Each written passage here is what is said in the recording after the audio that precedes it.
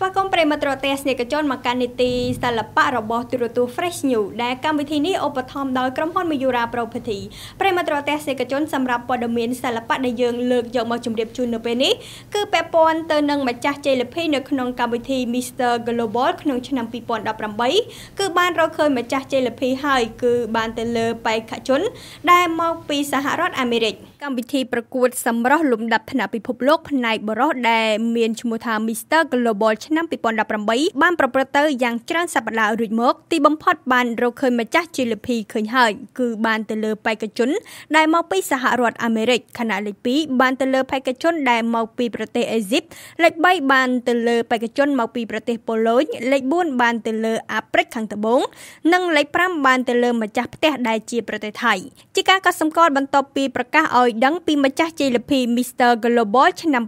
2018បានទៅលើសហរដ្ឋអាមេរិកហើយនោះក៏មានការផ្ដល់ជាកិត្តិយសដូចជាការប្រគល់ពានរង្វាន់ពីសំណាក់ Mr Global ឆ្នាំ2017គឺប្រទេសប្រេស៊ីលបានប្រគល់ទៅឲ្យ Mr Global ឆ្នាំ2018គឺសហរដ្ឋអាមេរិកជាមួយគ្នានេះកម្មវិធី Mr Global ឆ្នាំ2018ត្រូវបានគេដឹងថាធ្វើឡើងនៅទីក្រុងបាងកកប្រទេសថៃកាលពីថ្ងៃទី22ខែកក្កដាឆ្នាំ2018ថ្មីថ្មីនេះដោយមានការចូលរួមពីបណ្ដាប្រទេសជាច្រើននៅលើពិភពលោកហើយនៅក្នុងនោះក៏មានប្រទេសកម្ពុជាចូលរួមផងដែរ ក្នុងកម្មវិធីប្រកួត Mr Global ឆ្នាំ2018នេះគឺតម្រូវឲ្យបេក្ខជនតំណាងប្រទេសនីមួយៗដែលចូលរួមប្រកួតត្រូវឆ្លងកាត់នៅវិញ្ញាសាជាច្រើនដើម្បីទៅដល់អវគ្គជម្រុះជាបន្តបន្ទាប់អ្វីដែលគេចាប់អារម្មណ៍គឺវិញ្ញាសាតម្រូវឲ្យបេក្ខជនទាំងអស់បង្ហាញនៅឈុតសម្លៀកបំពាក់តំណាងជាតិរៀងៗខ្លួន ដើម្បីដណ្ដើមឈុតតំណាងជាតិដែលស្អាតជាងគេ ដែលភាសាអង់គ្លេសហៅថា National Custom Award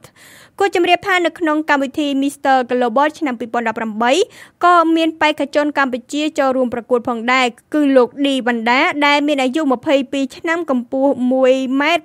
76សង់ទីម៉ែត្របាននាំឈុតសម្លៀកបំពាក់តំណាងជាតិកម្ពុជា ដែលមានឈ្មោះថានេនត្រអាណាចក្រនគរភ្នំទៅចូលរួមប្រកួត។